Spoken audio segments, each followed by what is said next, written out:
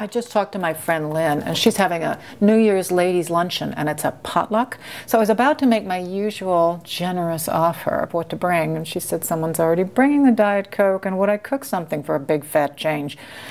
Which is fun. You know, it's just that the only thing is about the potluck is that you have to make something for the potluck, and then you have to make something for your family who aren't invited to the potluck. So that's two cooking chores, which is one too many. Well, actually, it's two too many, but who's counting? You know what? I have made a New Year's resolution. I'm not going to be so crabby. So I said to Lynn, no problem. I'll make butternut squash soup. I figure I'll just make a big pot of soup. It's only going to be like eight people at the luncheon. Bring some to the luncheon, leave some for my family. Two meals for the aggravation of one.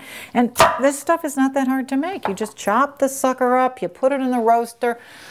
I would show you all the steps, but I just don't really have time. what do you think this is, the Food Network? Hey, my phone's buzzing. Hi, Lynn, what's going on?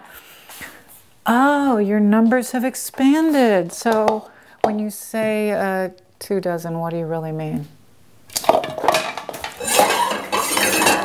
32 is not a problem. No, it's not a problem. It's fine. I'll see you later. Bye. Oh, gosh. I wouldn't be a New Year's resolution. I'm not going to be crabby. I'm not going to be crabby.